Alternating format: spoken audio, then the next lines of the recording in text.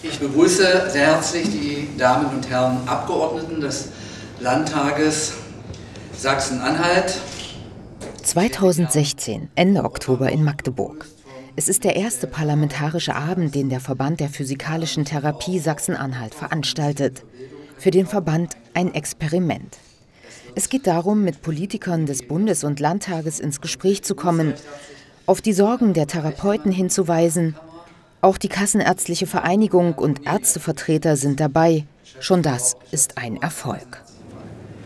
Jedoch müssen die Rahmenbedingungen für unsere qualifizierte Tätigkeit, für unser Engagement deutlich verbessert werden im Klartext, so wie wir jetzt von den gesetzlichen Krankenkassen vergütet werden, wird es in Zukunft keine Physiotherapie mehr geben. Der Beruf, die Berufe werden unattraktiv für unsere jungen Kolleginnen und Kollegen. Die Schulen kriegen keinen Nachwuchs, wir kriegen keine neuen Kolleginnen und Kollegen. Und das Schlimmste ist, der kranke Bürger, der kranke Mensch wird zukünftig nicht mehr flächendeckend mit Physiotherapie behandelt werden können, wenn dieses Loch äh, zum Thema Nachwuchs immer größer wird. Das wollte ich mit auf den Weg geben. Vielen Dank für die Aufmerksamkeit. Dankeschön. Ja, wichtig ist für mich eigentlich oder für uns als Verband ist wichtig, dass wir heute am Parlamentarischen Abend den Politikern unsere Forderungen präsentieren konnten, insbesondere Wegfall der Grundlohnsummenanbindung und die Möglichkeit, Modellvorhaben nicht nur zur Blanke-Verordnung, sondern auch zum Direktvorgang durchführen zu können. Ja, spannend ist, dass Modellvorhaben äh, beschlossen sind und da versuchen wir uns dann aktiv einzubringen. Das ist das, was ich mit Herrn Kellermann auch schon besprochen hatte, so dass wir, denke ich, ab dem nächsten Jahr, wenn das Gesetz beschlossen ist, aktiv versuchen, das anzugehen. Heißt es, dass jeder Patient am Ende vielleicht wirklich eine Blanko-Verordnung äh, vom Physiotherapeuten ausgestellt bekommt? Nein, das denke ich nicht. Also der, der äh, Arzt stellt ja die Verordnung aus zum ersten und zum zweiten ist es ein Modellvorhaben. Das heißt, es wird in kleinen äh, räumlichen Regionen sein oder mit wenigen Therapeuten. Also man wird das erstmal ausprobieren wollen und dann schaut man, ob es eine Resonanz darauf gibt und wie die Erfolge der Therapie sind. Haben die Physiotherapeuten die Kompetenz? Ich denke, dass sie die Kompetenz haben, das Heilmittel auszuwählen. Das ja.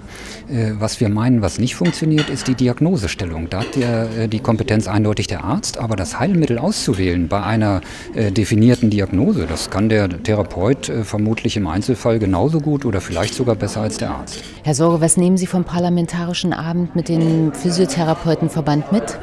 Ja, für mich ist ganz wichtig, dass wir die Heilmittelerbringer noch stärker als bisher unterstützen. Äh, Herr Kellermann hat es ja angesprochen, es gibt eine Menge Probleme, die wir auch auf Bundesebene lösen müssen. Das ist einmal Entkoppelung von der Grundlohnsumme, das ist die Frage des Direktzugangs auch bei der medizinischen Anwendung der Physiotherapeuten, das ist die Frage der Vergütung, die ganz, ganz wichtig ist.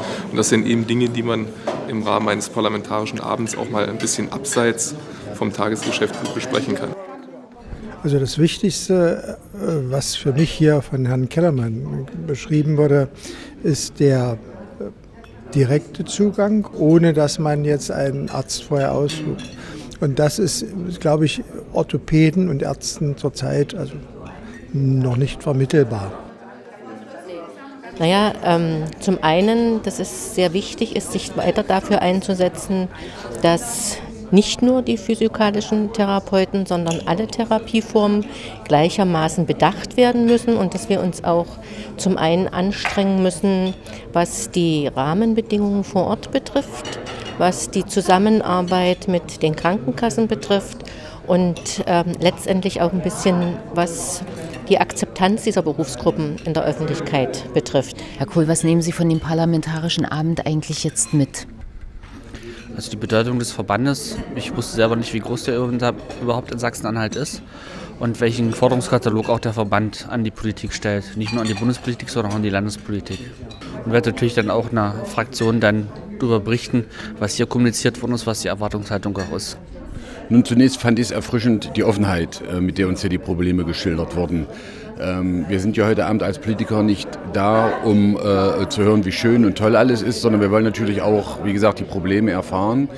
Und natürlich hat dieser Berufsstand auch einen gewissen Ehrgeiz. Ähm, da sind ja viele dabei, die sind selbstständig, die haben eine eigene Praxis, die beschäftigen selber auch Angestellte.